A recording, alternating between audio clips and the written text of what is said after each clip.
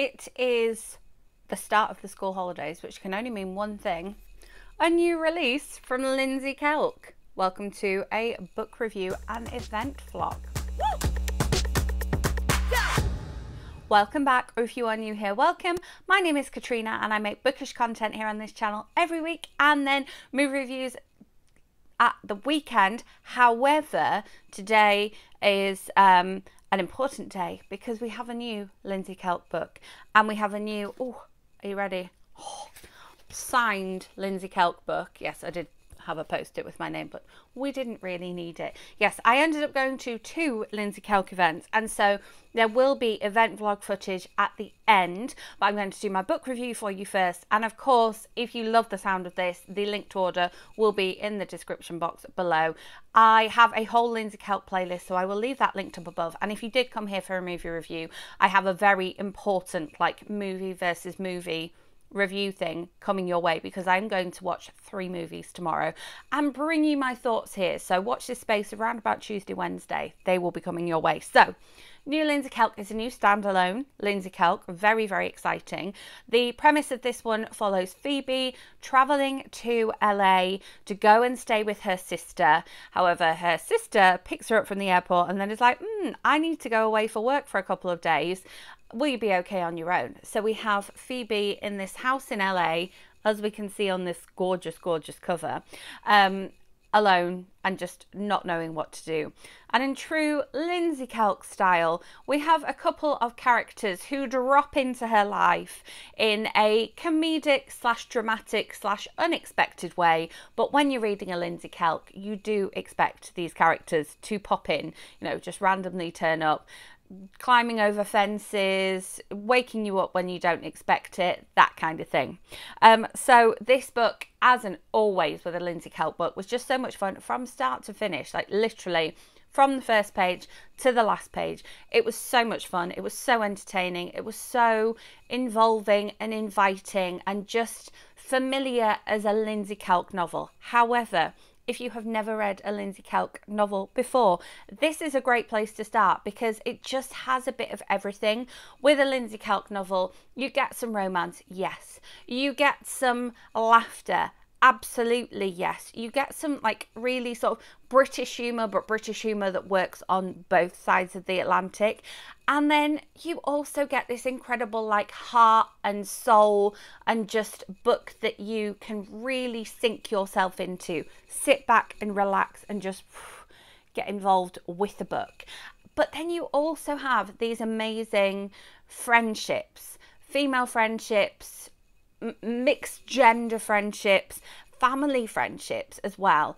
And that is what I love so much about a Lindsey Kelk book is that it feels real. It feels real life, but it feels enough escapism that you can jump into Phoebe's world or Angela's world or whoever's world in a Lindsey Kelk novel and just be absorbed. But it feels enough like real life that everything's believable, everything's relatable, and everybody will be able to find something that they can connect with in this book. Um, it was just great to go to LA again as well. Now, I, funnily enough, said this to someone as I was reading the book and then went to the event vlog, and Lindsey Kelk basically said the same thing. But the last LA set novel that um, Lindsey Kelk wrote was I Heart Hollywood. And I Heart Hollywood didn't sort of show LA slash Hollywood in its best light and this was when Lindsey was still living in New York. And obviously, you've got that whole East Coast, West Coast thing. And this felt a lot more like a love letter to LA. And I, I can't remember if I wrote it in my written review, which is on my blog, which is always linked in the description box. But you could really tell that this novel was written about LA by someone who lives in LA. The fact that this author managed to get her sort of favourite restaurant in here and sort of favourite place to go hiking in here. It just felt really real. And if you've only gone and kind of done the touristy things in LA or experienced LA traffic or, heaven forbid, just flown into LAX, then this book gives you kind of a different side of LA and gives you more kind of local knowledge and different neighborhoods and quieter beaches and better hikes and ways to avoid the traffic if there is such a thing at certain times of the day. Um, Although Phoebe is our main character and she's a little bit broken when we meet her at the beginning of the book, and we're not really sure why. We know there's been a bit of a bad breakup, but we don't know the extent to the breakup. Um, however, one of the characters that jumps into um, Phoebe's life unexpectedly is Belle. Is she named after Lindsey Kelk's cat? I don't know. Um, but. Uh, Belle kind of jumps into Phoebe's life the same way if you are a fan of the I Heart series by Lindsey Kelk. It's just behind me here, and I have a whole read along, readathon review of the entire series if you want to go and watch that. I'll leave it linked up above. But um, Jenny jumps into Angela's life and sort of takes her and shows her New York, and Belle takes Phoebe and shows her some of LA. And I really, really like Belle because um, this is where the kind of inspiration behind the book comes in because this book was inspired by the story of um, Cyrano and how he doesn't think that he's good enough for this person that he's pursuing because of his big nose and so um, writes letters for someone else to pursue her and so we kind of have belle here who just doesn't think she's good enough for anything, as well as Phoebe, who doesn't think she, that she's good enough for anything. And so we've got both these characters here who have this kind of slight romantic interest in um, Phoebe's sister's neighbour, Wren, who is kind of vegan and outdoorsy and like carpentry and all that whole picture of a male character.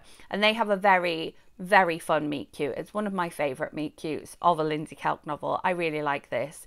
Um, and kind of jumping over fences really does um, feature quite heavily in this book, but this is, you know, this is involved in their meet cute. Um, but I just loved Belle as a character, and I really, really hope that she might feature in another Lindsey Kelk novel, the same way that we sometimes get Easter eggs pop up, or the way Jenny Lopez got her own novella or two. Um, you know, just putting that out there. I would like to read more from Belle.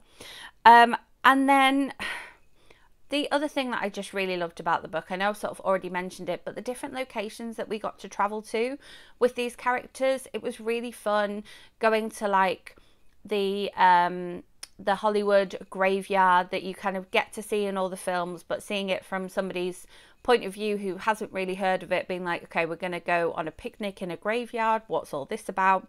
Um, and linking in with that sort of old Hollywood vibe. You know, they, they see the Griffith Observatory, they see the Hollywood sign, they see the Stars Cemetery.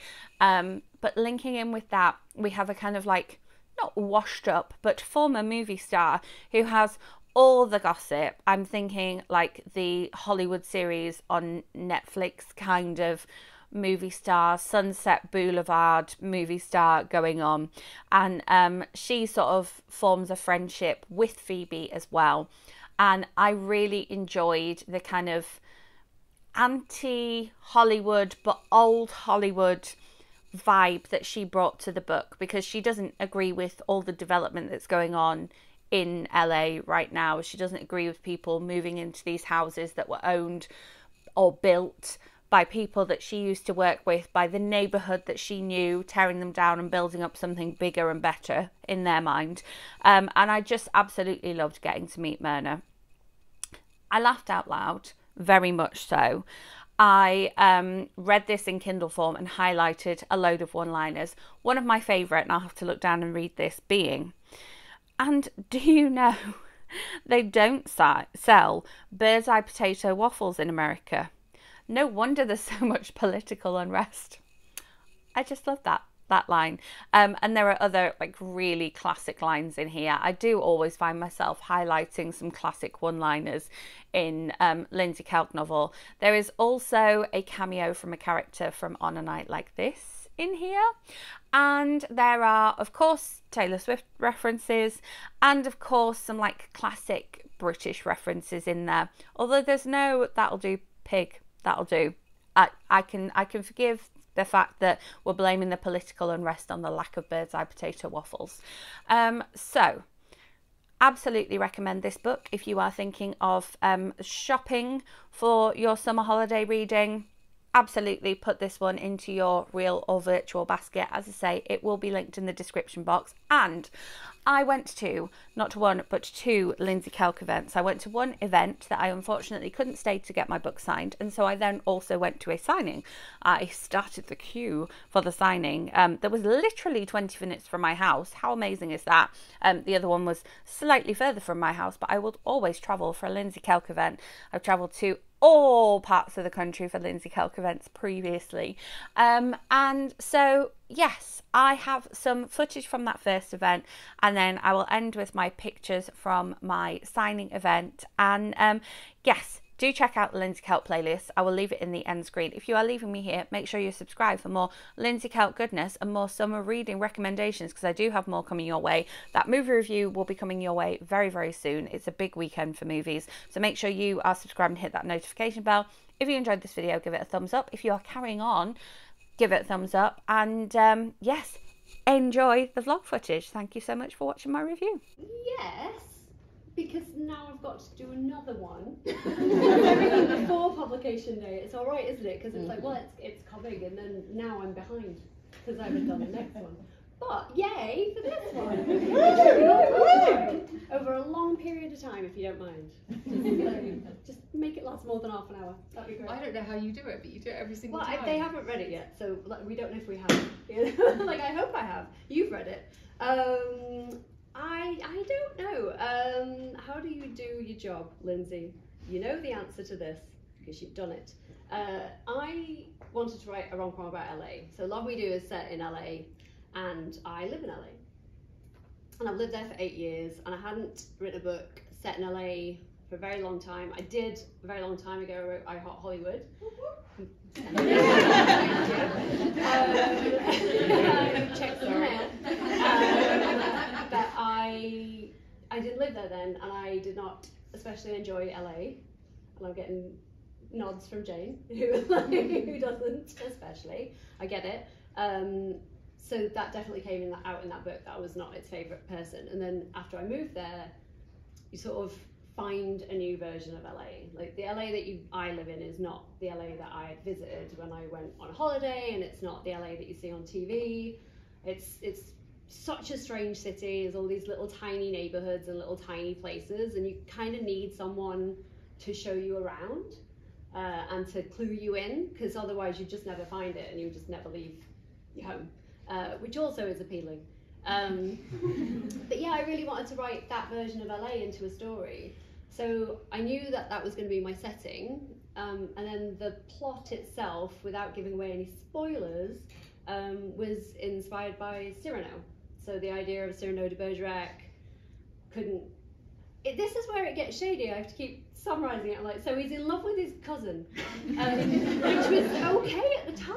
Uh, his Dutch cousin, um, but he's in love with his cousin, and he doesn't think he can ask her out. Not because she's his cousin, but because he's got a big nose. So I, it was the style at the time. Uh, so he helps this other hot guy who's totally in love with her win her heart by writing love letters on this guy's behalf. It's a very short and terrible version of what happens in Cyrano. Um, and it made me think about the reason he thought he couldn't ask her out was because he considered himself to have a deformity because he had a big nose. Um, and I wondered what that would look like if we gender reversed it, like what women, how we internalize a lot of the negative stuff that we're told and what society tells us and how women are treated. I was like, well, it wouldn't take having an extraordinarily large nose for a woman to think she's not worth hooking up with this hot guy. Um, it, it, it, it, took him a nose. Uh, in our book, it takes Phoebe just years of sort of being beaten down a little bit and internalizing a lot of negative stuff. Um, and that was what I wanted to explore was the idea of why we believe negative things about ourselves and what negative things we take in, and that we shouldn't shock. Uh, like the end isn't like, and she was right. Um, it, is, it is bad. We shouldn't do that. But I thought that was that was something that really played on me. It's like, why was it the only thing he thought was wrong with him was his specifically. And I refused, and they were very upset with me. And it's the one. I just it's such an overused phrase. People looking for the one. It drives me mad. I don't know why it drives me so mad, but it just does. But that's never going to be in there. Yeah. Any others? Uh, loads that I can't think of at the moment. I mean, loads, loads. Well, the, giggling, adults giggling. I can't bear it. Babies giggle, adults don't giggle.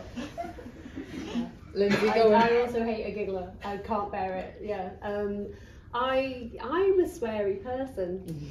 I like Are a you? Um, and I have it has been politely suggested that I limit my uh, broad and wide and deep and vast knowledge of swears By whom? by powers that be. Okay. Um, and do you know, I, I don't want anyone to ever feel uncomfortable reading it, so I, I, I leave one word out where I'm like, that upsets some people who actually don't custom. So I will leave that one out. It upsets Americans an awful lot. If I, it's a it's an interesting word, um, but I can't I can't use that one ever. I don't know if I would, but I'd just like to have the option. See, I thought you might say something like in and of itself, which kind of doesn't make sense. You've gone straight there. No, I, I, I, words are words, and I think they're all tools, and I love to play with language. And you never know what a character's going to say until they say it. And you might have a horrible character that runs around being like, "He's the one." Yes, that's true. yeah, yeah, because I'd be like, "I'm like panties." Oh. No one wants that, yeah, right? Nobody wants that in a book. But I'm sure I've had a, an American character who said it is a perfectly Maybe rational thing. pantyhose is the worst though. No, No, panties. no, panties is way way too- worse. Oh, Because Because it's like panty a hose is word. so it's weird. a child word for It just makes me balk. Um, I don't mind a knicker. No, I like it. Okay, yeah. I was trying to think what would I use? Yeah. but yeah. So what, what would yours I don't think I have one. I don't. Jane will laugh because Jane knows me really well, and she's always saying I'm like Pollyanna because I don't hate stuff, do I? So she's going, no, you're so. she literally is thinking that. Um, I don't hate stuff. I literally think put words in if you want. It's up to you.